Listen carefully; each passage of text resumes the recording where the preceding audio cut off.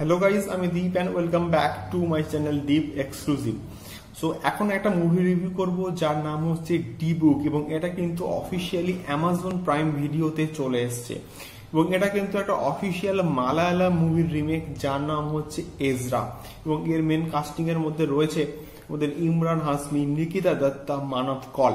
এবং এটাকে ডিরেক্ট করেছেন জে কে যে কিন্তু হচ্ছে এজরার ডাইরেক্টর সো এটার যে গল্পটা কিন্তু একটা অ্যান্টিক জিনিস ডিবুককে নিয়ে। ডিবুকটা কিনা? ডিবুকটা হচ্ছে এমন একটা জিনিস যেখানে হচ্ছে স্পিরিটকে ধরে রাখা হয়, যেখানে আত্মাকে আত্মাকে বন্দি করে রাখা হয়।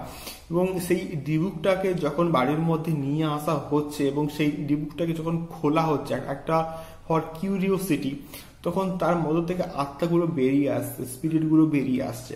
এবং তারপরে কি ঘটনাগুলো ঘটছে এবং ওখানে আত্মাগুলোকে ধরে রাখা হয়েছিল কেন?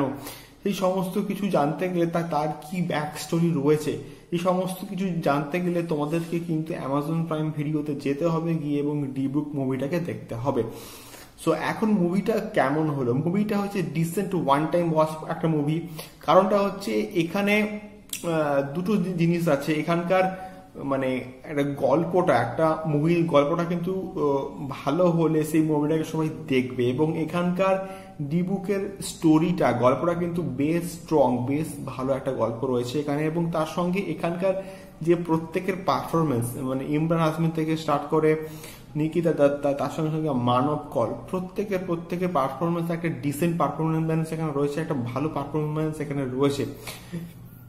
কিন্তু একটা জিনিস এখানে মিসিং রয়েছে, সেটা হচ্ছে একটা হরর মুভিতে একটা মানে ভয় তো মানুষ পাবে নাকি? সেই ভয় এখানে কিন্তু তোমরা কেউ পাবে না। মানে ঘর অন্ধকার করে যদি ইয়ারফোন লাগিয়ে শোনো, তাও এখানে ভয় তোমরা পাবেই না। সো একটা হরর মুভির যে এলিমেন্ট যে মানুষকে ভয় পাওয়ানো, সেই এলিমেন্ট এখানে পুরোপুরি মিসিং তো এখানে কিছু কিছু জাম্প স্কেয়ার ইউজ করা হয়েছে এবং সেই জাম্পগুলো কিন্তু মানানসই একদমই নয় মানে সেখানে ভয় মানুষ পাবেই না।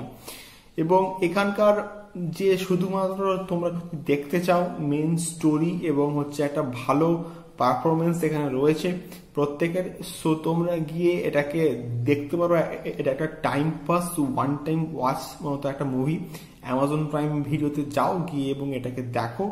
এবং কেমন লাগল মুভিটা কিন্তু প্লিজ আমাকে কমেন্ট করে জানিও। সো দেখা হচ্ছে পরের ভিডিওতে থ্যাংক ইউ সো মাচ